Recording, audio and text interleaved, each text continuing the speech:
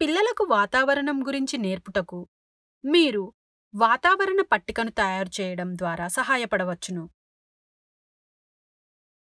మీరు ముందుగా వివిధ రకాలైన వాతావరణముల గురించి మాట్లాడటం మొదలుపెట్టవచ్చు.